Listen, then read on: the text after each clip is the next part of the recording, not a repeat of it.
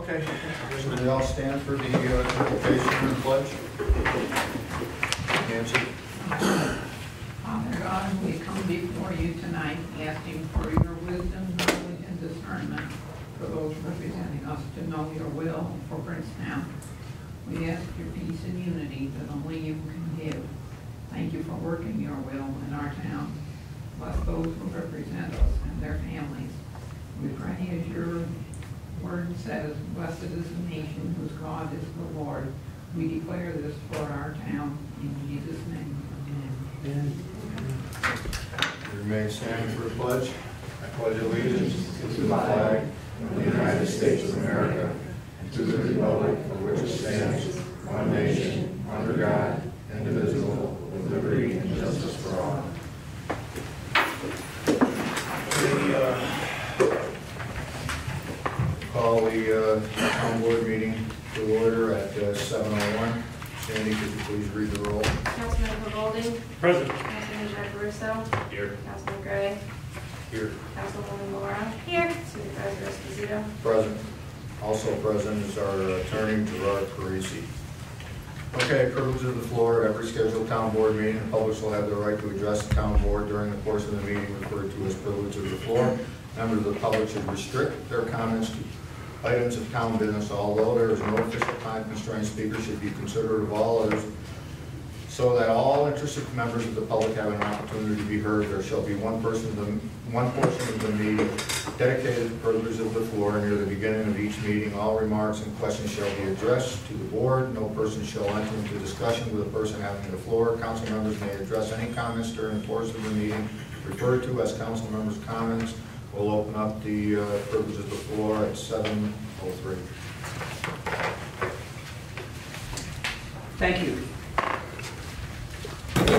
Board members, uh, Could you state your name? for the Dave record? Geisinger, um, uh, recent chairman of the Princetown Environmental Advisory Committee. Uh, I'd like to present to the town board and share with the town board the annual report of the Princetown Environmental Advisory Committee. Um, Usually provide a report about midsummer. Um, So I have um, copies here for each member of the board, and I just want to um, share, share a little, one item from, from, from the report. And then I'll go on to something else. Not Uh, It's not that, it's not that. No, it's not that. And blue. Ah, Thank you. well, I could do better over here, I think. Thank you. Thank you. So, um, our, our our PAC was formed by Town Board Resolution Number One 50 years ago, and I think it was 50 years ago this month of July, uh, about this date, July 1971. And uh, at that um, board meeting and passing of that resolution, um, it was uh, in that, in those minutes, in that resolution, that the PAC would provide an annual report to the town board of its activities over the past year, and also that PAC would uh, develop a natural resource inventory for, of the town resources, natural resources. Fifty years later, we are producing that natural resource inventory. I'd like to share one thing from the annual report, and um, that is um, a kind of a, a little summary of the natural resources inventory report. Um, on page 18 of the report, we summarize the value of the report as follows. The end result of the natural resource inventory is to preserve and enhance the town, the natural resources of the town, including woodlands, wetlands, streams, open spaces, groundwater resources, wildlife habitats, and other environmentally sensitive areas, and ensure that growth and development, development is sensitive and compatible with the town's natural environment. In short, this information can help residents preserve the rural character of Princetown. Excuse me, Dave, what page were you on? I- I'm I'm actually giving the annual report of PX. I'm not, I'm not, I'm not referring to the report at this moment. I will, I will next. Is any- anybody in the audience would like to have a co- a copy of the annual report? I have a couple extra copies here. Okay, Jack? Sure. Thank you. Yep. So, um, second and last, I would like to share a little bit about the natural resource inventory report that uh, has been working on very actively this, this year. Uh, We've had eight or nine meetings of PAC during the past 12 months, and uh, a lot, of- a lot, a lot of work in between our meetings to, to develop the report and and complete it. Um, So, um, this report uh, has been given to each town board member, and it's also being reviewed currently by two staff members of the Schenectady County Environmental Development and Planning Office. It's, it was mailed today to um, a woman who, um, in New Paltz, New York, who's with Environmental Conservation. Um, She was help, very helpful to us in developing sections of this report. And she um, uh, was, is, is pretty much kind of an expert on land, land use issues and, uh, and, and, and natural resources inventories. Um, I wanted to, um, mention an item in the report that is on page 10 of the report. On page 10, there, there is a, a table. Table number two says Princetown land cover. And this is the land cover in the town of Princetown breakdown. on this? Yeah, in that report, page 10. It's the land cover that existed as of the year 2016 or maybe 2017. And there were aerial flights over the town at that time. And a national organization um, developed this land cover breakout. Um, Kind of some interesting things about this, this table 10. One of the, three, three things I, um, I mentioned that um, Interesting that thirty percent of the town area, or forty-seven hundred acres, are in agriculture, either cropland or pasture or hay fields. And some of this, some of this agriculture uh, is in the ag district, and some of it is outside the ag district. A second, a second item of interest from that table is that the forest cover in the town is at least forty-nine percent of, of dedicated forest, uh, types of forests.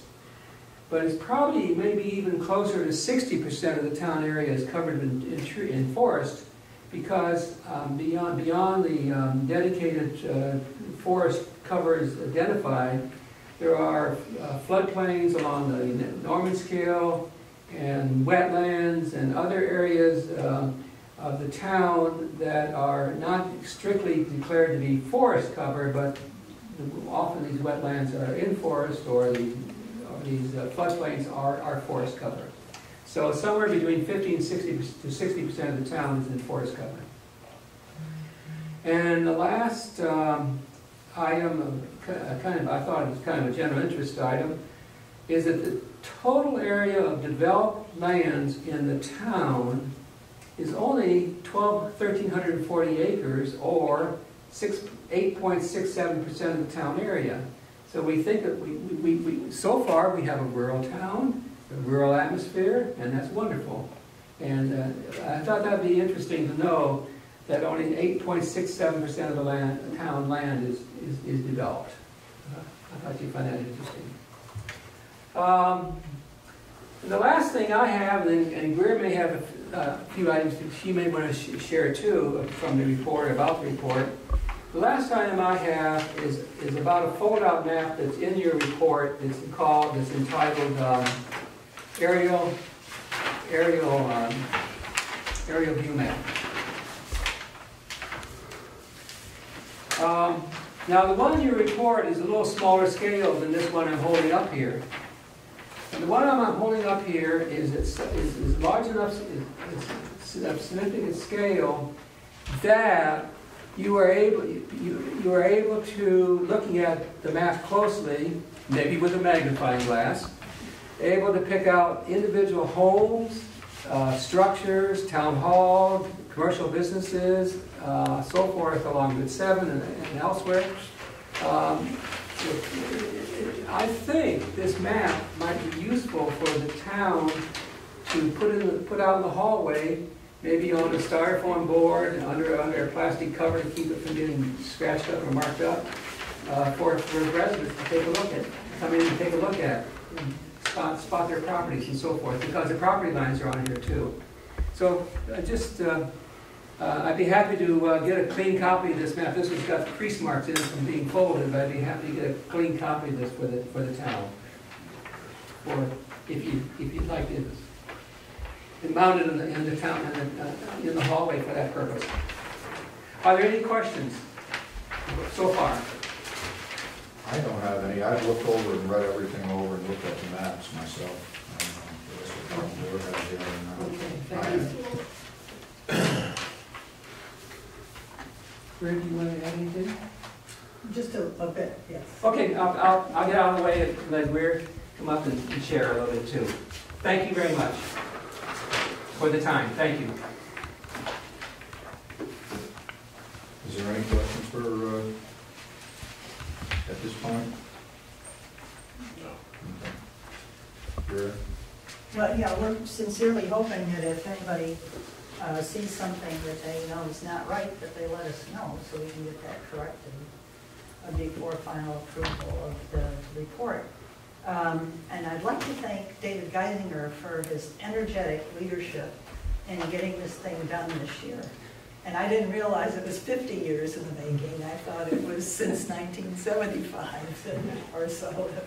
Um, Now, we have, we're a little behind schedule. We have not gotten our, all our answers back from the other reviewers besides yourselves.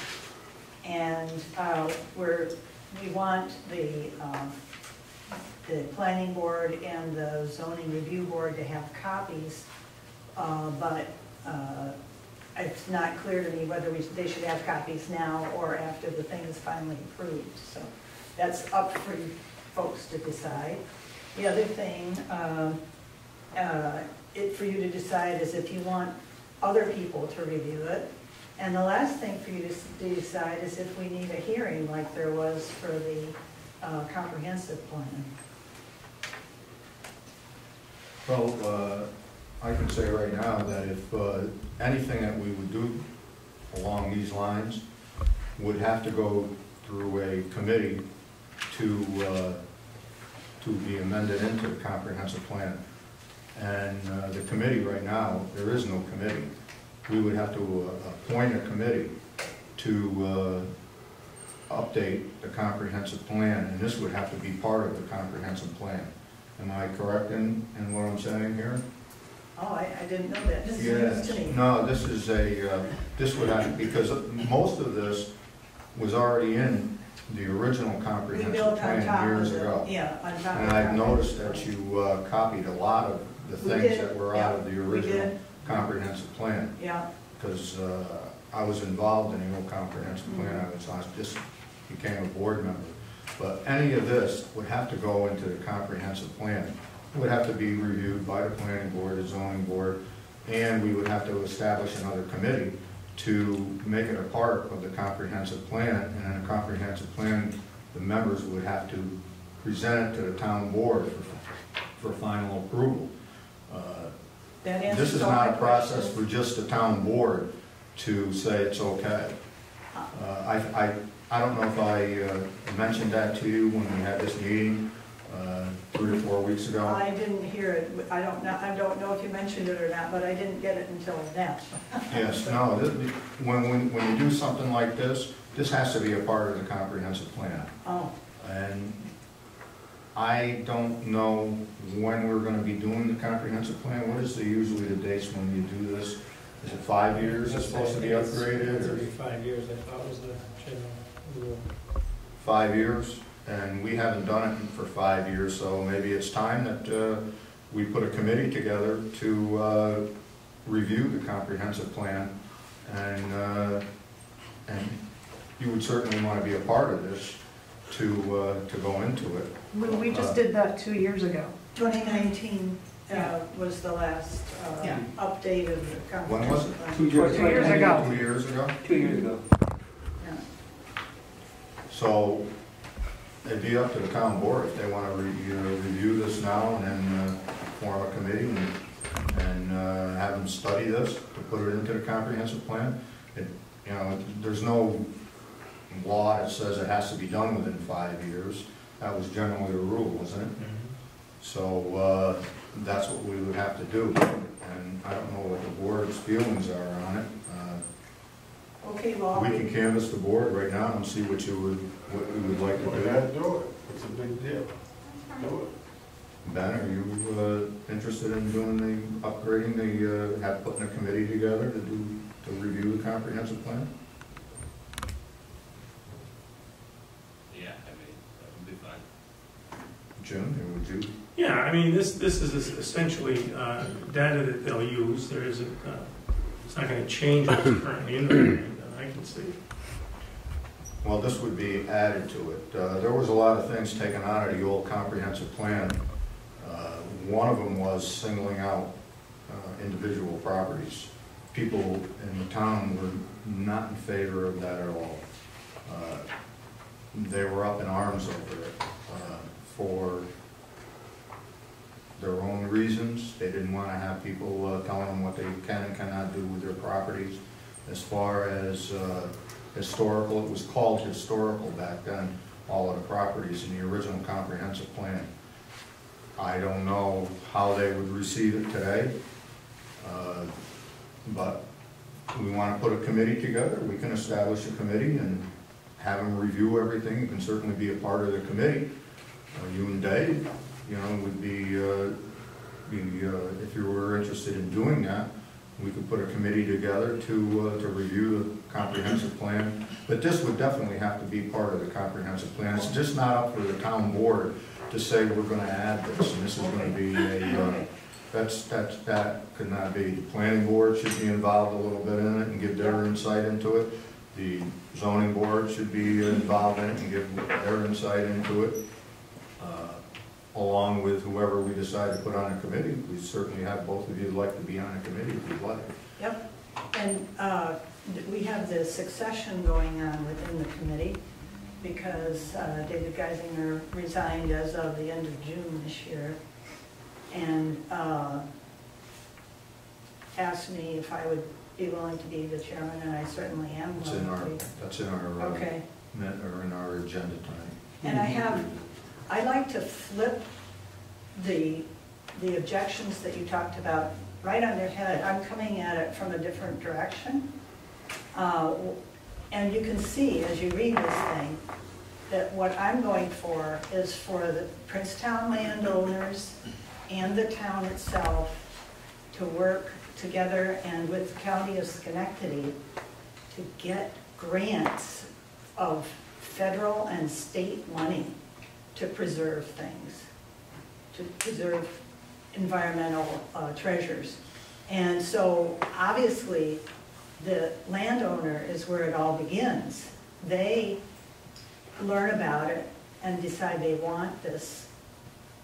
And then they apply, like for the farmers, it'd be going through the agriculture board for Schenectady County, but it has to have the support of the town board and all this all together. And it's amazing how many millions of dollars um, have rained upon uh, Washington County and Saratoga County through this process, which benefits uh, preserving the environment. It's great. And it's perfect for our situation where we don't have tax dollars to spend on it like Malta does. So, I've, I've received correspondence from the state about the grants that are available for some of these things, some of these projects too. But, uh, like I said, uh, uh, we would have to establish a committee uh, among our residents, see if anybody wants to be uh, involved in it. Um, I'm sure Jack may want to be in it, I don't know. He, uh, I always, Melanie might be involved Yeah, in and. Jack has been to our committee. To be honest, the committee that we had two years ago, I thought, most of us are here, it, it was a good productive committee. Um, I, I certainly would be happy to serve again. Great. So, We'll work on that and get a uh, committee uh, together and, uh, like I said, Dave and you, nominate, I don't know, Jack, I don't wanna keep throwing you in.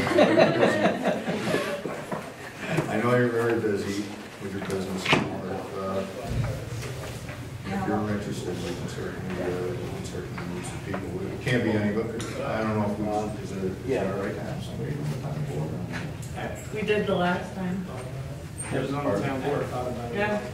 We, we don't have anybody on the town board, but Ben was on the town board now. Oh, yeah, you weren't on it? Yeah, you were on board Sorry. afterwards. And on behalf of the uh, town board, thank you for all your hard work. I know this represents a lot of work, a lot of effort, a lot of meetings, a lot of time, and uh, it's hard to do, and thank you very much. We appreciate it. Lou, would it make any sense to consider this an addendum to the comprehensive plan, and when the five years are up, then, then have, then have more of a comprehensive review and updating of the comprehensive plan, instead of doing it now? I don't know, we have to, Well, this, this is mostly informational, right? It's informational. Yeah, there's not really a lot of, here's guidance on what direction to go. I mean, you know, I haven't read it completely yet, but just glancing through it now, it seems mostly informational.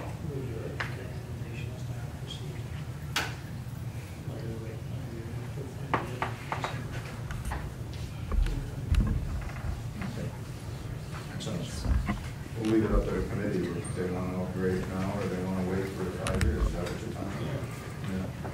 I just don't see this Would changing. you like to be on part of this committee? Depends on how often they meet. Maybe now, so, Well, sometimes it's best time for it, but depends. Um,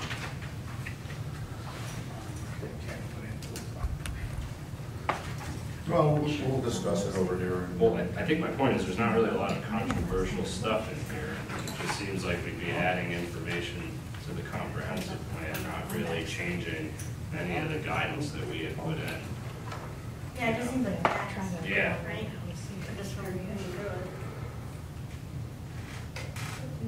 I mean, if you want to do a committee, that's fine, but it seems like adding this is kind of just tacking on extra I don't think information. You- you're allowed to just add on, Yeah, we're going okay. through the process. We Okay. gotta go through the process. Okay. Okay, well, thank you, Greer. Thanks, thank you, Dave, uh, for all your hard work, like Jim said, thank you. Okay, is there any others?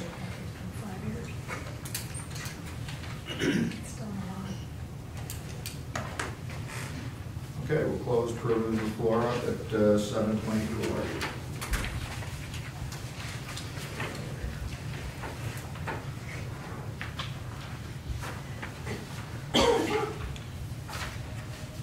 Committee Nick Morris Senior called me today, he's not available tonight. Uh, He went up and looked at all of our town roads today. He says they're all in pretty good shape. We uh, did do the repaving uh, over the past two, three years. And uh, the only road that we really didn't upgrade was Brookside. But uh, he says it's in fine shape for another year, and he's not recommending doing any paving up there right now. All the rest of the roads are in very good shape. I know we don't have a lot of roads, but uh, the ones we do have have all been resurfaced. We did notice that two signs were missing on Brookside, since it's a circle, and uh, he's suggesting that we replace the signs on both ends of the road. He's talked with the county about it to see if they can do it. They'll, at, at, you know, they'll probably charge us for it, but uh, we should have road signs up there, to, you know, what the, uh, the name of the road is. So, uh, He's also uh, talked with the uh, county about uh, the problem we have on Ruder Drive. Could you elaborate on that a little bit, Doug? Talked to Nick today. The thing washed out again, the creek's filled up in front of my house. The manholes are full to the top again. And they gotta clean the ditches. He was suggesting that they, uh, they make it a little bit deeper on the end of the road there. I don't know if that's feasible or not. No, it's just the manhole right on the end of Ruder Drive, the dirt's full right to the top. Well, uh, the And county gave all the way in front of my house, which is the county road, for Ruder Drive coming down. Mike fixed it, but he's got it up here, and where it comes out of the catch basin is three foot lower. No, He don't want a weed whack, okay? He wants a mow. well, uh, It's gotta county be cleaned out, because right now, the water, where my mailbox is, is about this much lower than Pepper And the water comes down Ruder Drive, the catch basin is full to the top, right to the grate with dirt. well, uh, we had a price last year from the uh, county to clean all of those catch basins out up and down Ruder Drive. It was quite have to do it expensive. Well, we didn't do it last year, but uh, we put it off for a year because it's quite expensive. I think the, the price was like uh, fifteen thousand dollars. They I can get a- last- can get they went another up- quote on it. They went up there and did it last year, I see them there. They sucked them out, but I'm telling you right now, the of Drive is to the grate. Well, Nick is The gonna water get, does not go in it, and the dirt is three foot deep where it comes out of the, out of the catch basin. Well, would you and, uh, if the county comes up there, would you and Nick like to uh, give your suggestions on it and meet with them? I've already done that. I know, I was there with you, let's see what they can come up with. Yeah, not a problem. Okay. I'll call Nick tomorrow and see if he can set it up. He said they're gonna, county's gonna clean Beckman Road. That's what he told me today. Cause it's right up to the road, and you gotta, you gotta clean the catch basins out. That's The all. dirt Is right to the grate right now. The water doesn't go in it, and the pipe that comes out, three foot high. Three foot dirt in front of it. Okay, we'll get them up there and see what we can do with it then. I'm there all the time,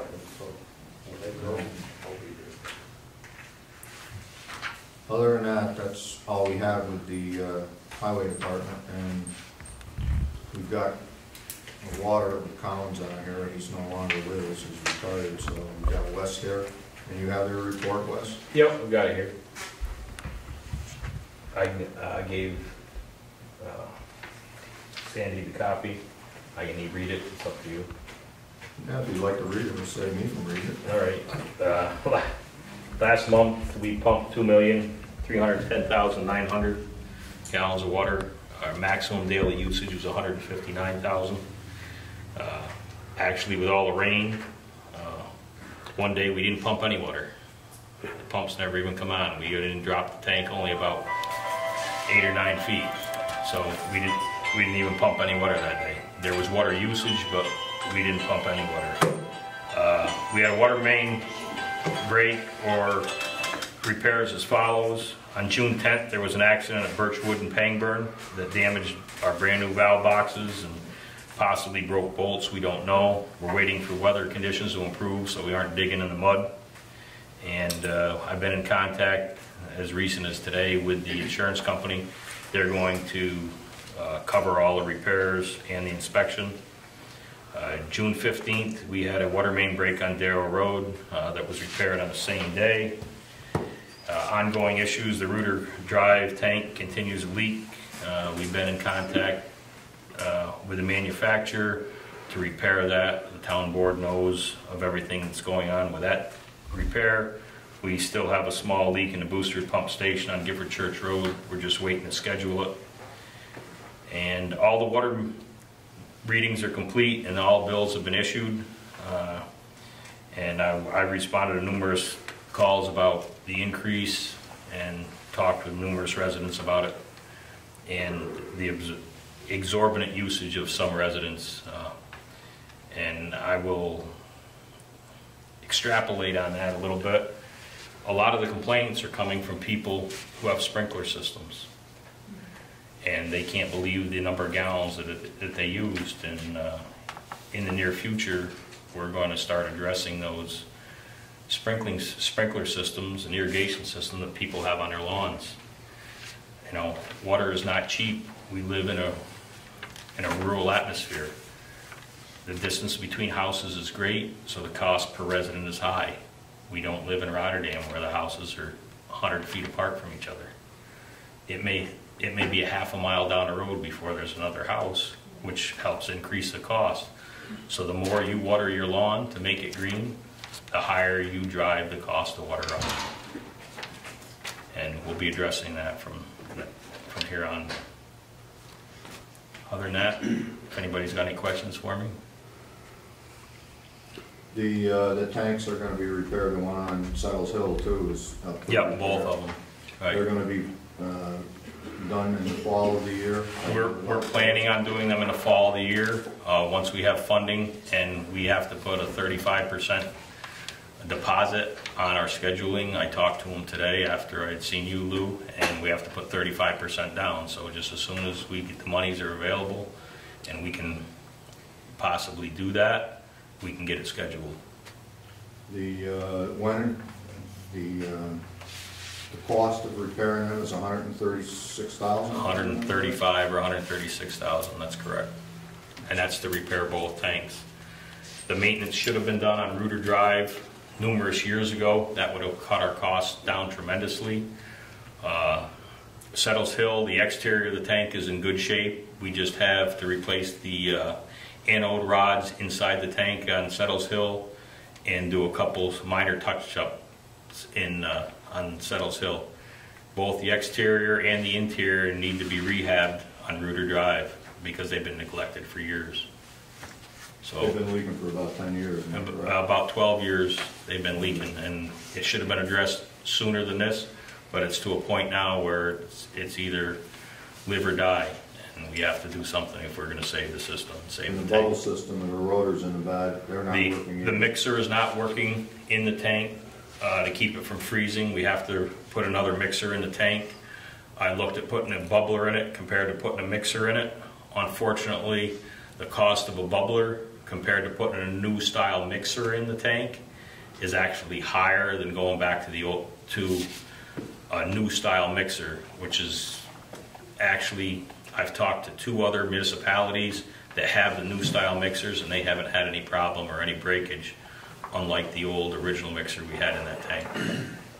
This has been a problem for everybody that doesn't understand that, uh, on Ruder Drive, the mixer's been bad for years and years, and is what has happened, the top of the tank has been freezing, which has been causing more problems with the leak up there, am I correct? That's correct. It's actually scratched the inside of the tank and scratched the glass lining off the inside. We've got pictures of it. They actually sent quote unquote a sub in to take pictures while the water was in the tank.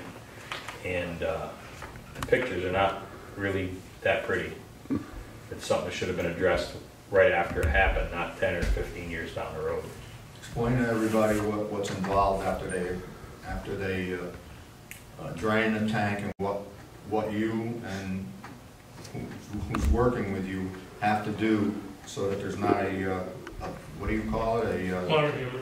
Water hammer into the line, which would cause our fragile lines to, to break. Un- Unfortunately, once you, once you eliminate that tank from use, in order to maintain water in the rest of the system, uh, it's quite complicated. Uh, You have to turn pumps on and off and open valves in sequence in order for this to happen, and maintain water for all the residents.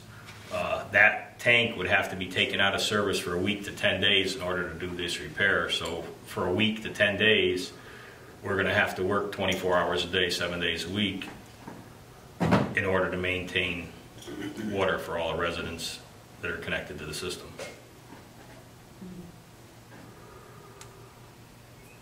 It's going to be a long, drawn-out process. And at this point, anything that happens, I'm trying to eliminate everything that we can possibly do that this doesn't happen again. I mean, things need to be addressed as they happen, not 10 or 15 years down the road. As you stated in the last meeting over there, the- the wells have been rehabbed and new pumps put in, so. That's correct. We've, uh, both wells are up. They're actually pumping at capacity or above capacity of each pump.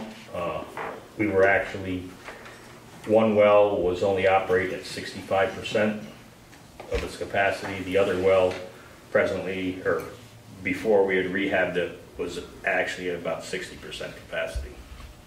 That's how wore the pumps and everything were. Both pumps were the original pumps that were put in in two thousand. And that was over fifty thousand. And that was over, that was, uh, to do both of those was approximately sixty thousand dollars. How often should they be done? They should be checked a minimum of every five years. They may not necessarily have to be rehabbed. The, the one well, uh, the screen at the bottom of the well was, was over eighty percent clogged due to the fact it had never been cleaned, whether it was calcium buildup, manganese buildup, or uh, silt, whichever. Uh, It was eighty percent plugged with a little bit of sediment in the bottom.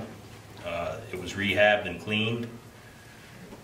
The second well, there was almost three and a half feet of sediment in the bottom of the screen.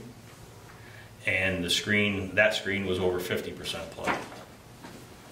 The first well went down in, in December, when we started to break suction, or excuse me, December, April, we started to break suction, and that's when we, uh, started scheduling everything. We already had it in the, in the plan to do the work this spring, or early this summer. Unfortunately, it went down sooner.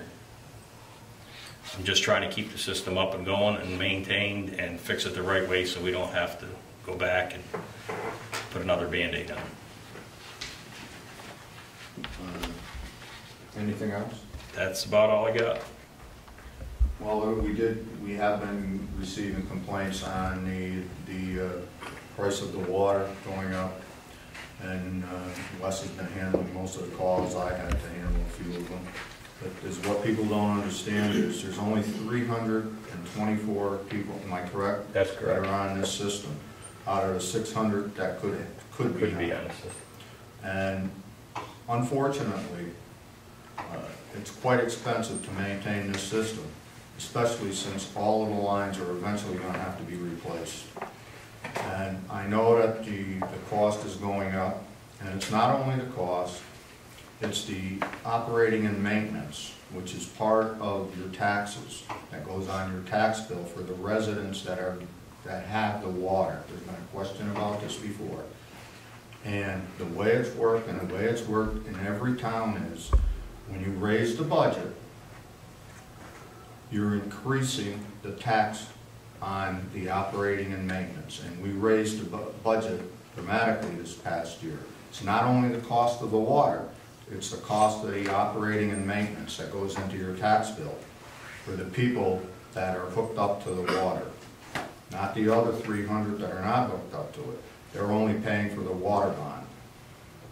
So that's why their taxes went up. There was a question about that. We did have uh, a problem with uh, two of our residents that uh, took us to court, and uh, unfortunately, we didn't know about it until the end. We never even knew that there was- a court date that was set up. No, nothing was ever said to us until our attorney notified me that nobody showed up for the hearing. But anyway, that amounted to one percent. So when people look after tax bill, it's operating and maintenance, which went up about twenty percent. That's what, uh, that's what it did. That amounted to another one percent. So every time you increase the budget, it's not only the price of the water, that's separate. It's the operating and maintenance, the O and M. That's part of your tax bill for the residents that have it. And I know everybody complains about the price of this water, but unfortunately, there's only three hundred and twenty-four people. I think there's how many out-of-district residents that are hooked up? Seven? I'm not sure exactly the total number. Seven or eight Seven that or are, eight. that are out, out of district, which are complaining to no end. Wesley could get into it, one owes ninety-seven hundred dollars. I think, am I correct in that? I'm not sure exactly what it is. I know it's, it's a big amount. It's over seventy-five hundred dollars. Well, it's, uh, You know, they're, they're hooked up to it, they're complaining about it, everybody's complaining about it. You know, we, we have a, we have a, a choice over here on this. Either we're gonna have to, to, to continue to fund this, and it has to be self-funding. You know, you, we can't take money from the other parts of the budget to, to fund the water system. Uh, It has to be self-funding for the three hundred and twenty-four people that are hooked up to the water. And unfortunately, the price is going up. We have a choice, either we, we, this current town board had nothing to do with this. We weren't involved when the system was put in, which was put in, we all know what the problems are with the lines that were put in. They weren't put in properly, but you get what you pay for. And unfortunately, the lowest bid came in, bolts and saddles. They didn't use stainless steel. They're all failing, as you can tell you. Rocks put in over the tops of the pipe. They couldn't even lift some of the boulders out of there with, a- with one of their machines. They couldn't even get it off. You're just gonna have to bite the bullet and we're gonna have to maintain it. That's the, that's the one choice. The other choice is we could sell the system to a private entity and let somebody else run it. Or we could disband it. And I don't think anybody wants to do the latter too. So for the three hundred and twenty-four people that are on it, you're gonna have to bite the bullet, and if you wanna maintain the system, the, the price is gonna continue to escalate. Unless we can get some funding from the, from the federal government to replace these lines, which are gonna have to be done, and we've talked about it, Wes and I, I said before, we were on a Zoom call with, uh, with our congressman about that, who's in charge of this, and we tried to, uh, tell him what the price would probably be, and he was like, set back on it. Millions. But, uh, you know, that's one of the committees he's on, who he chairs, I guess, in Congress. So, you know, other than that, we're just gonna continue to have these problems. Eighteen water main breaks last year, eighteen. I mean, you you know, and each break is what, thirty-five hundred? Yeah, Or more, that's Or more, forty-five hundred. We don't have a maintenance crew to, with backhoes and dozers and everything else to maintain the system. You know, we, we rely on an outside vendor who's been very good to us over here, does not pressure us for the money. We still owe him a lot of money. Uh, Now we got this big bill coming up, so when people complain about it, I don't know what to tell them. Uh, Jack, you Well, can I just say, I don't think you have three hundred and twenty-four complaints. I think you got phone calls complaining, not all of us are complaining, and many of us appreciate the water supply we have in the town and, the- and the quality of water we have, and we understand the cost of doing it, and the, the trouble that, that uh, has developed over the years, and, and, you know, what Wes and the town board's trying to do to straighten it out. So, I didn't call and said it complain. was all three hundred and twenty. No, I just said, you said everyone's calling and complaining, I'm just letting you know, not everyone's calling and complaining. Complaints, and, and Wesley's handling most of them, and, and, and Rick is handling most of them. Uh, Many of us They, they, they- they have to appreciate, listen to the brunt of it. Yeah, many They have of us to listen to it appreciate When they went to, to their homes and tried to explain it to him, and they start yelling at him, and he's taking an awful lot of heat for it, which he shouldn't have to. yeah. But uh, unfortunately, that's what, uh, that's what's happening, so. But everybody's gotta understand, you know, uh, you know, we're left with that choice, either we, it's gotta be self-funding, you know. I- There's no I would like question to about add it. in all It has to be fairness- self-funding. In all fairness to the town board who put the water system in, it was the perfect storm of grants and funding at the time. The system had a lot of thought, a lot of planning. Muriel Peterson worked effortlessly to do it. Um, The system was put in and overseen by the engineer and inspected. When you talk about the bolts and the saddle tees, what is in the ground was recommended. Stainless was an extra cost that at the time the town did not take. What has been discovered over time is that our soil is eating our system. So to your point, the maintenance is, and to Wesley's point, the maintenance has been laxed. We know this, that was an issue, but in all fairness to the, the inception of this system, a lot of time, a lot of grant money, a lot of effort, and a lot of oversight. This wasn't just thrown in the ground. The problems have come since with our soil, with our system, with, as we all know, there were a lot of repairs and things to, to Wes's point that went untouched and undone for years. Our water rates have not been raised in 10 years. Am I wrong?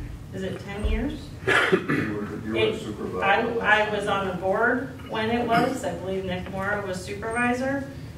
That should have been done every year to cover the cost of this system. You're talking about the O and M being on the taxes. Yeah, that's where it's winding up. And it's unfortunate because the way the system was set up and the, and the way it was supposed to be funded, um, on the tax bill was supposed to be the infrastructure. Usage was supposed to be to cover the O and M. Unfortunately, it's not, we, we can't catch up now because those yearly rates should have gone up all along. And, and you're right, people are complaining because they don't know. They don't understand how the system works. Jack, yes, we are all appreciative. We have a system. So like Doug has brought up before, we need to keep increasing, there needs to be increased usage rates every year moving forward. we built that in. We, we, it has to, be- and, and I, I hear you, and I know you did. But that's something that needs to be addressed yearly. The point I always now here we are. was you're paying, paying per gallon point zero zero three. Go buy a bottle of water at Stewart's, you're paying a dollar something. Right. You go to Stewart's and buy a cup of coffee, what's a cup of coffee? Small one costs you. Mm-hmm. You mean to tell me you can't pay a dollar a day? Right. And I think the issue You're is that paying three hundred point people don't zero understand. three for a Correct. gallon of water. Getting it, why are you buying the water at Stewart's when you can open your faucet up and get it, and it's the best water in the York State? right, but the people doing it don't Okay. understand what it's paying for. You Right, know, and- getting, getting information out is important. And And- and- anybody that wants to water their lawn, why do you want to mow lawn three times a week? I don't want to mow mine at all. I'd rather mow a hundred acre field than mow lawn. You know, I, and, and, and to, to, to that point, I know just the neighboring town of Rotterdam, people who had lawn sprinkling systems, they had their own wells. So what they did is they appointed, you know, someone to go to check to make sure the lawn sprinkler system was hooked up to a well. Mm-hmm. So they could use their well to water the I lawn. understand, I know exactly what And you're then, saying. and then you're not using a town water to water your lawn. Right. So they, you you can get, you know, they put a sign up that, that they had a well, so a well issue. It might be something else that All you gotta should do in advise and Rot- consider for, for the future. you know. All you And gotta do in Rotterdam is put a point in the ground, twenty feet, and you can suck all the Yeah. water you want. But- You're not gonna put a point in the ground out here and suck But this, twenty. but uh, this is all evolving and, and what you, you, and, you know, with, with the town board and, and with Wes, it's all getting corrected. Right. l- Like Mel said, you know, it wa, it wasn't put in knowing that this was gonna happen. So it, this happened and it has to be fixed and we're fixing it and, and we, we appreciate all you're doing to give us the town water that we have. We did apply for two grants, by the way, to replace the system, but the per capita income in the town of Princetown is so high that the feds are saying we don't qualify. So we did that twice. Mm-hmm. You know, the good news is, for seventy-five cents a day, you get all the water you can drink delivered to your door. And you don't have to pay for the electricity to run your pump in the ground. You don't have to pay three thousand dollars to replace a pump every ten or twelve years when they go bad. And the value of your property automatically goes up if you're connected to the water. So that's the good news. The bad news is unfortunately, we did have to raise the rates. We'll have to continue to raise the rates. It's, an- unfortunately, it's a joint and several responsibility of all those involved, the 324 people involved, and I'm one of them. Yeah. I accept my joint and several liability. Whatever it costs me, for me, it's worth it. It's, oh, you know, Absolutely. I just, I don't have a problem with it. I, I, you know, I feel bad for folks that, you know, got blindsided by this, but we had no choice, and believe me, you don't even want to know how hard we've been working to try and uncover, uncover funds from everywhere. Believe me, this is not, this is no joke. We can't possibly do it on the money we collect, by the way, from, from the users. Then we don't have enough. We don't have We enough. gotta charge more.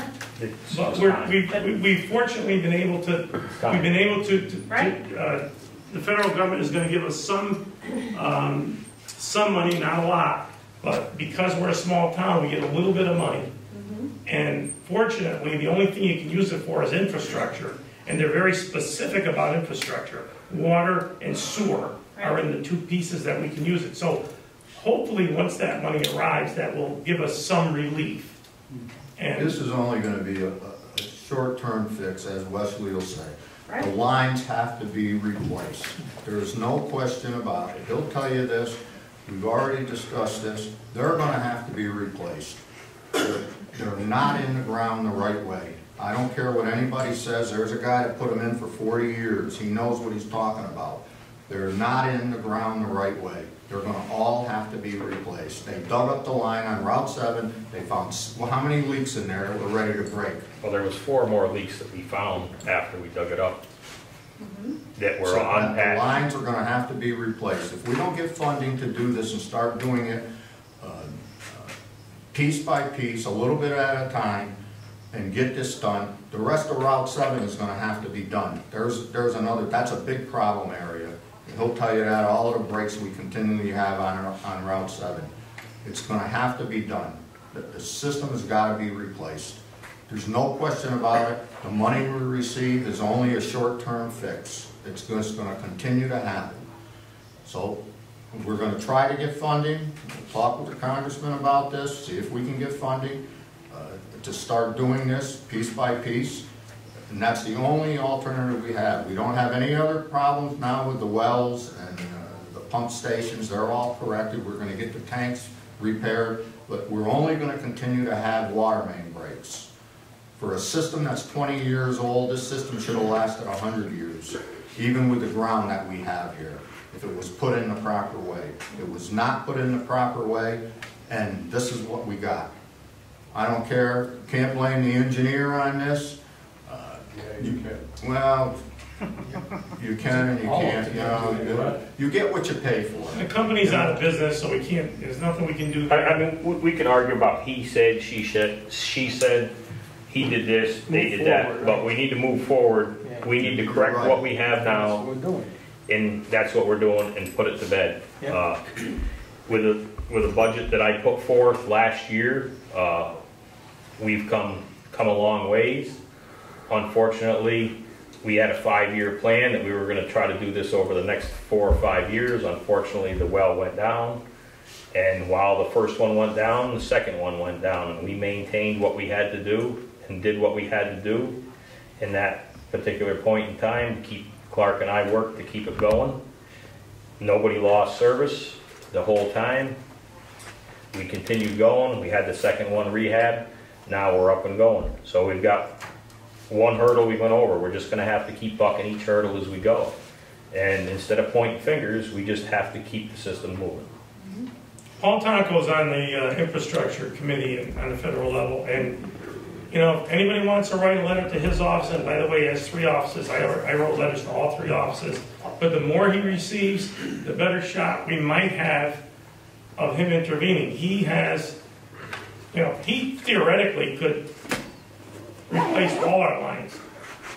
Um, We've, we've met with him, we've sent letters to him. If anybody wants to send a letter to him, that would probably be a good thing.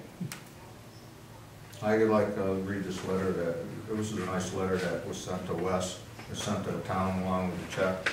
It Goes without saying, we are grateful for the quality and quantity of water that is made available to us in Princetown, to us as Princetown residents. We too are personally aware of the condition of all the piping from the initial install that is continuing to need attention, particularly with the two problems that needed fixing in the recent months in front of our house. So Wes, we're grateful for your overseeing our town water as we received and are now paying this year's bill with our enclosed check with such a large increase in our annual base rate, we would, would have hoped and thought someone from the town would have written to inform us, our Princetown residents beforehand of this large increase, hoping in the future if it needs to be again, please let some, let us know, let the residents know. That's our problem, we should have probably sent a letter, it's too late now. The bills have already been out, and the money's, almost all of the money has been collected, so it's- too late to send anything out, but. And I did get a call on it, and uh, Said to the resident after I explained to him what was going on, they, uh, they said, we had no idea that the problems that existed with the water system. And uh, I said, well, it's been in our newsletter that uh, we've had problems with it. We also have our town board meetings that are broadcast on the government channel, and they're on YouTube. You can go back from any of the first days that we started broadcasting, and you can get it on YouTube. And every month, our meeting is on there, as last month's was on our government channel. And their comment to me was, I had no idea. It, it would have if the water went down. But That's what they they said. I had no idea that we could watch this on TV. I said, for the last ten years, it's been on TV, every meeting. So people are not aware of that. I- I don't know how else we can inform them, write them letters. We're not gonna write letters now. No, I, I'm gonna, uh, let me intervene quick, Lou. A Couple residents asked about sending out a monthly newsletter, and people don't understand that if you send out a newsletter to each and every user, We the cost is tremendous. You're right. Every mailing would cost a thousand, around, around a thousand dollars. I figured it out. By the time you write the letter, pay for the, pay for the paper, pay for the printing, pay for the postage, pay for the envelopes, looking at a thousand dollars per mailing. It's So- absolutely Well, ridiculous. and what are you gonna say, And what are except you the gonna- same thing you're saying The same right thing now? I'm saying right now. Well, I'm, I'm thinking what, we, we have, so we need, the, the environmental committee needs to communicate with the residents about getting this federal and state money. You need to communicate with the residents about what's going on in the water system and what we've all got to do. And my idea is, why don't we, uh, create a more active website and communicate that way, because people are more in tune that way, like at Schalmont School District. If everybody communicates on the website. Right. Yeah. and Or a people still Facebook don't go on the page or an website. They- you know. A lot of people don't even, like I An said, they don't even know that, that Yeah. the meetings are broadcast. They don't know, like I said, you can go back on YouTube to see every meeting that we've had from before Melanie was supervisor. I think we started doing that, broadcasting the meetings. I mean, you can go back ten years and you can get any meeting you want. Uh, From Melanie to uh, Mike Joyce to uh, any of the supervisors that were involved, Bob, myself, all of those meetings are available. And we've been talking about this, this is not something new. We've been talking about this for two years. Two years we've been talking about the problems we have with the water system. This is not something that just happened overnight.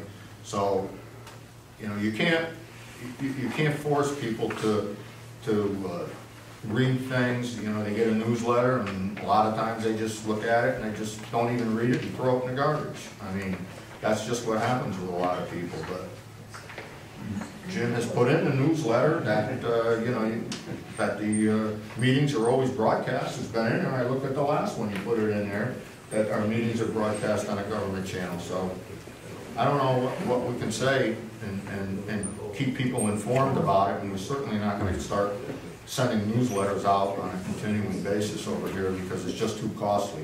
You know, we don't have a town tax, we have, we, you know, we have to tighten our belt too, we just can't be spending money uh, willy-nilly on this. We just put a new roof on, it's forty-eight thousand dollars over here, so we just can't, you know, we just can't keep doing these things. But uh, you had a question out before we wrap this up, we gotta move Yeah. along here. I don't mean any disrespect, but the front page of our website has not changed in how many years? If you put something on the front page that gives them updated information about a variety of things, people will start looking at the website again. But when you go to the same page, it doesn't look like anything's changing. So why are they gonna link in further to find out if the meetings have been updated? That's just my two cents, because like you said, Schalmont's website, you've got something on the side that says, here's the recent news, here's what's going on. We need to do something on our website to make that information more readily available. You know, bills are coming out, you know, look for the increase, you know, we've got the recycling day, things like that that could be put on as a recent information right on the homepage. The comp plan's not there yet. No, it's not. Two years and it's still not on the website. I sent Ronnie another message tonight. All right. Enough with the water, we're getting with over here. Any other? Wes, you got anything else you'd like to add? No, we're pretty well set. Okay, is there any other questions for Wes? Now, I'll reiterate one more time, anybody that wants to tour the system, I'm, I'm here, make an appointment. I mean, I'll show you exactly what's going on. I mean, the town board's been through it. Okay, well, thank you, Wes. We appreciate everything you're doing. Okay, building inspector, code enforcement, June eighth to July twelfth. Total permits three, permits issued three, permit inspection fees collected two hundred and eighty-eight dollars, building inspections twelve, zoning review one. Final inspection zero, final building inspection zero, certificates of occupancy compliance zero, bank deposit report two hundred and eighty-eight dollars, check to supervisor one thousand dollars. Checkbook balance as of July thirteenth, twenty twenty-one, hundred thirteen, hundred thirty-eight dollars fourteen cents. Activities in zoning one, working on planning zoning as needed, working on permit, final inspections as needed, doing plans as needed, Thomas Verini, building inspector, any questions on this? If you do, I can get Tom, he's in the other room. Okay. You're up, Ben. Uh, It's uh, just one call about a dog that was taking a nap out in the road. Does that every now and then. Uh, He's an old husky, so I went to talk to the owner, they weren't home. but, um, Other than that, I had the uh, Markets annual inspection, and I spoke with Elizabeth about the calls that we have done with Rotterdam, and she recommends that we don't do that because I'm supposed to be appointed by that town. And for us to do that, you know, this is three times now to do it. So they're gonna probably continue to wanna do it that way. So she doesn't recommend that I uh, go to any more calls on their behalf.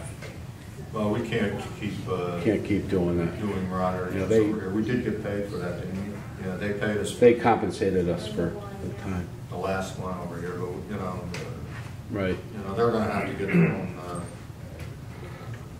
dog warden. Well, the main concern too is that it, you know, if I'm attacked by a dog and there's some kind of a liability going on, that's what her main concern is. And I'm kind of in limbo there because I don't work for Rotterdam. I'm not appointed by them. And uh, it wouldn't fall on Princetown if something happened.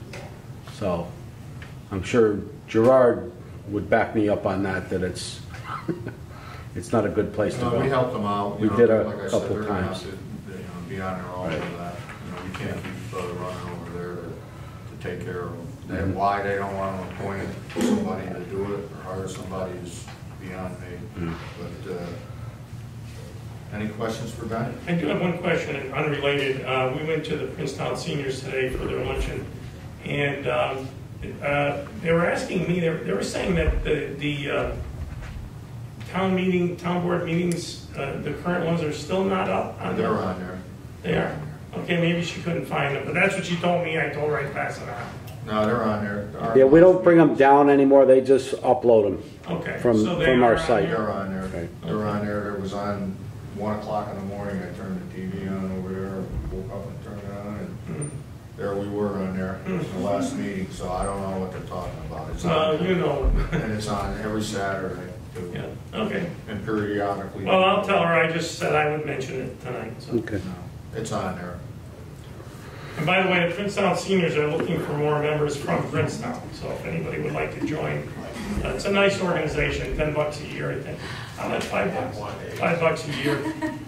Uh, Nice organization. Why is it on television? Anything else, Ben? No, that's it. Okay, thank you. Uh, Court with, uh, where are we with this? one? She got a report here? Yeah, there's a report. I don't see that one. Yes, stapled together one, remember? I have it on. Here, here it is. Oh, yeah, I got it. You got it. Oh, you got it? Controller's report for uh, June will be about nine thousand nine hundred dollars, and we're steadily increasing our caseload. The operating protocols for the fourth judicial district have been updated effective June thirtieth, twenty twenty-one. I have attached copy if anyone would like to read. All virtual arrangements have ended with the governor lifted the declaration of emergency. We are now conducting our own arrangements in order to get a centralized arrangement part approved in Schenectady County by OCA. It will be necessary to demonstrate the consent of all of the stakeholders in the county. Along those lines, Superintendent Walsh is working to obtain memorandums of understanding with each of the law enforcement agencies in the county, town, village, police departments. Chris Gardner is working to get it on the agenda for the upcoming uh, county legislative meeting to get resolution support. To facilitate that, a sample resolution that was passed by Whitehall Town Board in Washington County a few years back is an example of what we may have tonight to consider, which we do. Gerard, you looked it over and it's okay? I'm not gonna read the, uh, whole page over here, but that was from uh, Michelle. And we do have a resolution on here to, uh, to approve this. I don't know what number it is, but get to it. Is there any questions on that report? Okay. We don't have a report from the assessor, but I know that he was doing upgrades on the, uh, uh, the state required, county required, or the state required to, to look at uh, properties to see if the assessments were correct. He did that, and the report was filed uh, to the state, and I guess everything turned out right. And From what I understand, the, the assessed value that they go by was lower to, am I correct, Sandy, thirty was, I think Tyler said it was down to thirty now. But uh, everything is fine, he said, it was accepted. Buildings and grounds over here, the state police, well, the uh, roof was completed uh, uh, two weeks ago. I think they did a very good job so far, it seems so, as they did. The valleys were put in as David, as we suggested. And uh, they are gonna come back to replace the, uh, the uh, diverter on the side door over here because they took that off to replace the shingles. And they never replaced it back up. I talked to him, he's gonna come over. We had a problem with the state police building. The uh, septic system with all of the rain had to be pumped toilets were plugged. Uh, They were all cleaned out and one of their toilets was plugged. The, uh, I understand now that the, uh, the- the bathrooms in the ladies' room are starting to run slow. I think it's because of the, uh, all of the rain that we had in the, uh, In the police building, right here. over here. That was over in the state police over here. Uh, I was talking with Nick today, and uh, we're gonna get the, uh, someone in over here to, to pump out the uh, septic ta- system. S- Pumping it doesn't alleviate the problem, but it will tell us that the uh, leach fields are working, because we have a raised mound system, which is an evaporation system, and they'll be able to tell if the water is running back into the septic system. It may, may start to evaporate maybe in August or You gotta September, pump during it, work on pumps it.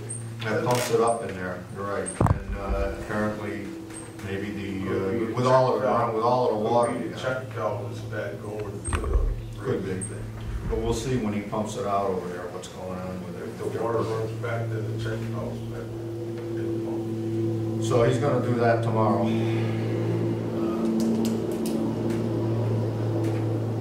Uh, Other than that, any questions on the building, grounds? Okay. Public hearings, we have none. PAC has already been discussed, meeting minutes. Is hereby resolved that the meeting, uh, meeting minutes of June eighth, two thousand twenty-one River Town Board meeting are approved or as amended. Uh, Discussion? I'll make the motion. Is there a second? I'll second. Sandy? Councilman Pavelli? Yes. Councilman Jackaruso? Yes. Councilwoman Mora? Yes. Councilman Gray? Yes. Supervisor Esposito? Yes. Plotter Kill Fire District Public Hearing. Uh, I don't know if I want to read that, everybody's got a copy if they want to read it through. What it's all about is, uh, they're, they're a fire protection district, and they want to become a commission district, mainly because uh, they can't, uh, the uh, taxes uh, that are going to support that district is not enough to, uh, to keep it up to date, so uh, they want to become a commission district. We've discussed this, we've got no problem with it. They wanted uh, to do this, so we have to have a public hearing on it with the town of Rotterdam, because the town of Rotterdam is involved in it. They have a small portion of the, of their residents that are part of the Plotter Kill Fire uh, District. So uh, we gave them a couple dates that we could be available, uh, we could be available on any date. I mean, uh, Rotterdam is, some reason over there, they can't seem to uh, come up with a, a date, but we did. So, uh, this is notice of a joint public hearing concerning the establishment of a fire district in the town of Rotterdam and Princetown, New York. Please take notice that pursuant to town law, Article 11, the town boards of the town of Rotterdam and the town of Princetown shall conduct a joint public hearing on August 24, 2021 at 6 PM at the Potter, Plotter Kill Volunteer Fire Department Firehouse located on 3985 Putnam Road, Schenectady, New York, 12306, to hear all persons interested in a proposal to establish a fire district comprised of the properties within existing Plotter Kill Fire Protection District in the town of Rotterdam and the Plotter Fire Protection District in the town of Princetown. The boundary, boundaries of the opposed fire district shall be the same as the boundaries formed by the existing Plotter Fire, Fire Protection District and the Plotter Fire Protection District. There shall be no boundary line along the continuous border between the towns as currently exists with the existing fire protection districts. All of the real property and only the real property currently within the Pro- Plotter Kill Fire Protection District in the town of Rotterdam and Plotter Kill Fire District in the town of Princetown intended to be included in the proposed fire district. The estimated tax rate per thousand of assessed valuation of the proposed district based on aggregate assessed valuation of taxable property within the proposed fire district utilizing the 2020 final assessment roll projected to be assessed, levied, and collected in a fire district first fiscal year of operation is unchanged from the current tax rate and amounts to a rate of $1.10 per thousand for properties in the town of Rotterdam and a rate of $3.49 per thousand for properties in the town of Princetown. The amount of total tax levy for the fire protection and emergency service in 2022 is expected to be approximately the same as the amount of tax levy for 2021. The formula by which the amount of the future tax levies are calculated by the Board of the Fire Commissioners of the proposed fire district is expected to be consistent with the historical practices of the Fire Protection District. A detailed explanation of how the estimated rate of assessment was computed for properties in each town included within the proposed fire district is, is on file with the town clerks of each town. Uh, It's August twenty-fourth that we're gonna have to do it. If Rotterdam agrees to that date, if they don't agree to it, then, uh, it's off for another month. We don't have special meetings over here to, uh, to, uh, pass resolutions. Uh, That was You need a motion for this, right? Pardon? You need a motion? We're gonna need a motion. All right, so at the end, be it resolved that the town board authorizes the above notice and the joint public hearing to take place as set forth in the above. Uh, If Rotterdam doesn't agree to this, this date, then it's off for another year. I talked to their attorney, the Potter Kills attorney that's, that's handling this, and, uh, you know, he can't seem to get a date from Rotterdam, so. I'll make the motion. I'll second. Sandy? Councilman Pavelli? Yes. Councilman Jackaruso? Yes. Councilwoman Mora? Yes. Councilman Gray? Yes. Supervisor Esposito? Yes. Hopefully the attorney will, you know, put some pressure on Rotterdam to to make this date workable. The, the, the fire uh, district's attorney, I know, I know, they, you know, because we don't wanna go through this again. no, no, we don't, but we'll see. Their, their meeting is tomorrow night, so we'll know after tomorrow night. They brought it up, Lou, at the last meeting. They did? Yeah, when I was taping it. They did bring it up, but they didn't make a decision yet, so maybe tomorrow night. Maybe tomorrow? Yeah, hopefully. Keep your fingers. Could you let us know? Yeah, I'll let you know. Okay. Centralized arraignments, Princetown Court.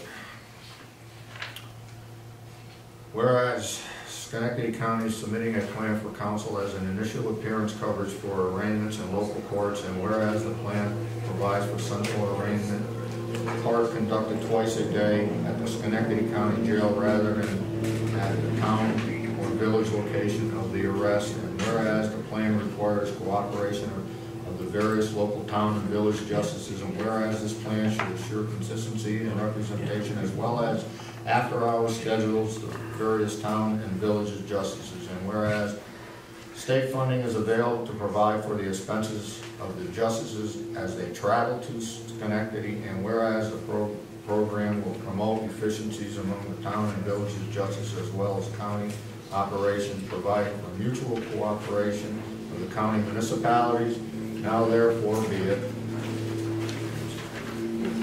resolved that town of Princetown hereby indicates its support for the county's plan for counsel at the initial appearance coverage for arraignments in local courts. Discussion? Is there a motion? What's the impact on court here? Uh, I think this is just for like counties and stuff like that, when they have special arrangements, uh, Gerard? Yes, is it- I don't know if the whole plan, is, I'm assuming they're gonna have the judges take turns at one location, centralize the Okay. arraignment process. I believe they take turns now, but at their own, they've been doing them through Zoom. Oh, really? So I think this is updating that they're not using Zoom. I'll make the motion. Is there a second? I'll second. Sandy? Councilman Bowlby? Yes. Councilman Jack Russo? Yes. Councilman Moore? Yes. Councilman Gray? Yes. Supervisor Esposito? Yes, resolution passed. PAC Chair appointment. Be it resolved that Brewer Pomeroy is appointed at the PAC Chair for a term to expire 12/31/21. Discussion? Is there a motion? I'll make it. I'll second. Sandy? Councilman Bowlby? Yes. Councilman Jack Russo? Yes. Councilwoman Moore? Yes. Councilman Gray? Yes. Supervisor Esposito? Yes, resolution passed. May I PAC member appointment. Be it resolved that Dave Geisner is appointed as the PAC member for a term to expire 12/31/25. Discussion? I'll make, Is there a second? I'll second. Sandy? Councilman Bowlby? Yes. Councilman Jack Russo?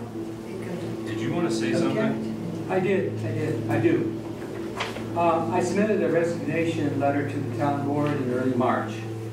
And I know I said in the resignation, in the letter, the res- resignation, that I would cease being chairman of PAC by mid-year. This is where we are right now. And so in regard to the prior uh, item you discussed about appointing Greer, I would propose that my termination be June 30th and her, she take over on July 1st this year. And regarding this, this current thing about appointing me for, to be a PAC member to the year 2025, I, I think my resi- resignation letter mentioned that I was leaving PAC. I, I just, I I mentioned expect, that I'm- I'm into too much stuff and I'm trying to cut back. So you want to be on a committee? No, I don't. Oh, you don't want to be on at all? I, I I don't, I, I want to, I want to leave the committee effective this year. Uh, I have just too much stuff, there's too much stuff, too much stuff on my plate. So we need to rescind this motion. Yeah, so we're We gonna never passed it anyway. We just, Doug made the motion, but that's where it stopped. Yeah. Yeah. We never passed not it. gonna on it, and You're already out. And you're out. You didn't want it, so you're done. Okay, so Thank you for, thank you for your service Thank that you. that you did Well, provide. just We put a provided. big X across the page. There you go. We do appreciate all the work you put into it. Thank you, Thank you. Hate to see you leave. thank you, thank you, Doug. I'll be around for other things.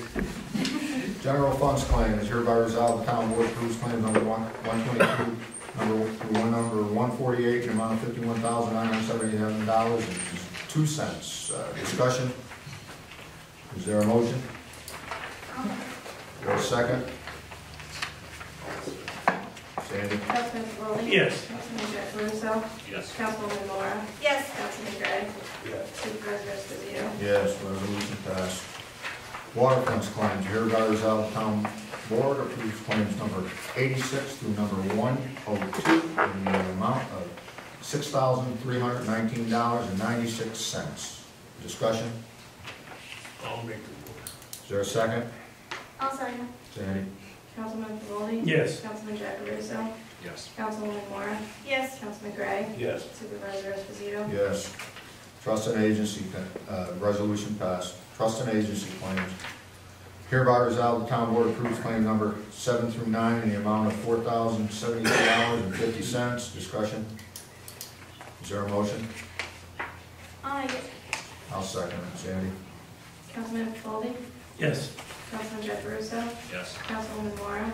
Yes. Councilman Gray? Yes. Supervisor Esposito? Yes. Council member comments, discussion. Doug? I have none. Ben? We start to get like a written, um, something written from the assessor? Because when we had hired him, you know, we wanted more transparency. I Yes. know you give us little Yes. snippets, but, you know, something formal would be nice. He doesn't have to show up or anything, but Yes, it was supposed to be uh, what the, uh, what the uh, assessments were that they, they reviewed with the state, and it's supposed to be on the website. I haven't checked it. He, as a matter of fact, he uh, asked that it be put on, and the, uh, was emailed to, uh, to uh, Ronnie, so I think it's up. I'm not sure. well, even beyond that. you know, I know, just no, I Things that are know, going no, on. he's gotta start doing stuff.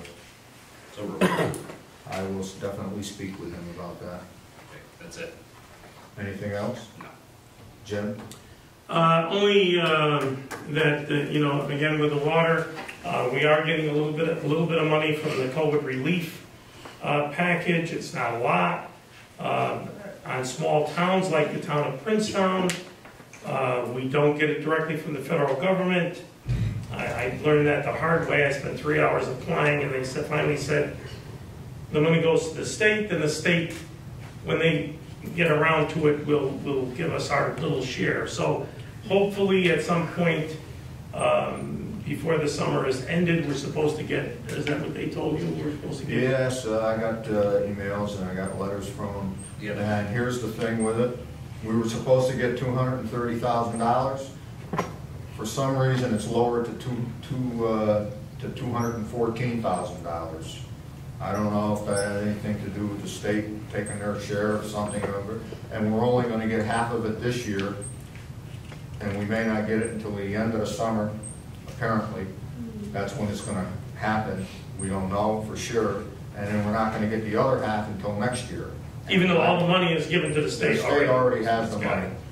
The towns that were over fifty thousand in population got their money directly from the federal government.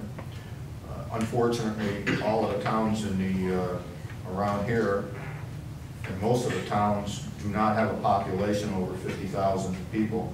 So, uh, the money was given to the state, we already put in our application, I already received the correspondence back via email and letter that they received it, and we will be receiving the funds sometime, according to them, by the end of summer, whatever that means. But, uh, and it's only gonna be a hundred and four thousand, or hundred and seven thousand, excuse me. And we're supposed to get the other hundred and seven thousand next year. I'm going to call our congressman and ask why it was lowered from two thirty to two fourteen. When we have all the correspondence here that what every town was supposed to get, and if you look at it, it says we're supposed to get two hundred and thirty thousand dollars. But, uh, they lowered it to two fourteen. I don't know if the state has taken a cut on every, every one of the towns that they're distributing. And while you're, while you're inquiring, I'd like to know why we can't get all of it this year. We should be getting it all at once, not help. The, the, the towns that are over fifty thousand got theirs directly from the federal government. And I'm sure they're not split up half a year. And normally I wouldn't care, honestly, except the fact that we're in such desperate condition with the water system. We're in arrears. We, we owe money that we can't pay. Uh, not a good situation to be in.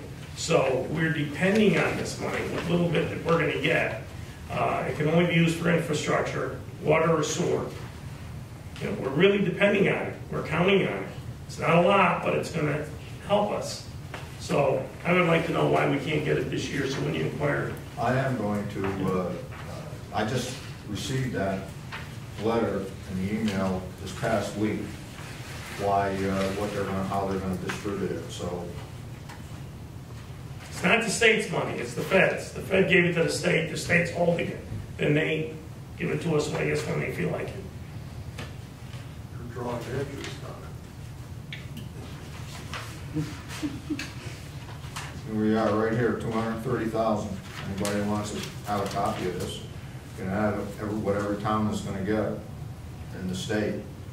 It doesn't sound like a lot of money, but, you know, fourteen, fifteen thousand dollars, I mean, we're, we're cutting, we're cutting pencils and paper here to save money for the town. And that, that money was necessary for the water district. And these are the towns that are, the state is distributing it. Like I said, the cities and the towns that are over fifty thousand, they already got their money. I, I don't understand it, but, uh, that's what, uh, that's what the state is doing, so. That's all I have. Uh, I don't have anything. Uh, There was a question about some people uh, wanting to know how they could get ten percent off of their bill. So all they have to do is call, is- is call the, uh, one of the solar companies over here that are providing uh, solar array systems for, uh, that's going into the National Grid. We've got nothing to do about it, but uh, I've been getting these in the mail. Anybody wants a copy, that's all I have to do is call this number over here, and this is next Kemp or something, is that how it's pronounced? Next time. Next Kemp. At, uh, and you can get ten percent off. You just gotta buy your, uh, uh, electricity from the solar company, and they'll give you a ten percent discount. It's got nothing to do with the town, but, uh, that's what, that's what, uh, they're, they'll do that, and they'll take care of everything. Myself, I would not get involved in it. I- I would just as soon pay National Grid and pay the extra ten percent, but that's me. So, I don't think I have anything else other than, uh, nothing. Are we, we're all set then? I'll make the motion to adjourn. And I, Oh, I mean, was there? Go ahead. I'll second it. Sandy? Councilman Pavolli? Yes. Councilman Jackaruso? Yes. Councilman Moore? Yes. Councilman Gray? Yes. Supervisor Esposito? Yes. Thank you all for coming.